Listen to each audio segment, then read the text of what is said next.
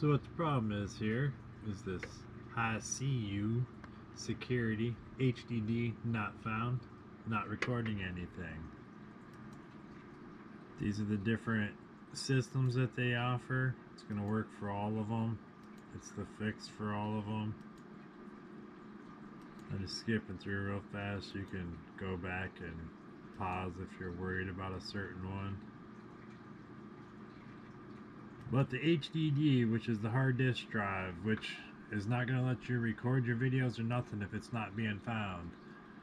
First thing to do is hard disk drive, these four screws, everything. Just go ahead and skip right down to here.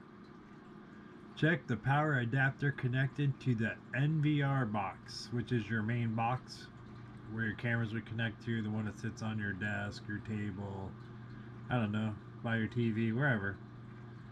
Check the box plug. It uses a 12 volt 2 amp power supply. If you connect the 12 volt 1 amp power supply to the NVR, the box will not have enough power to drive the hard disk. That's where you get the HDD. Where this comes into play, the 12 volt 1 amp, cameras run on 12 volt 1 amp. But if you plug these two in, I believe they both work and fit in the same plug. So make sure, because that's what I think happened to mine, I'm not sure. I grabbed the wrong plug and it fired it up, but it didn't fire up the cameras.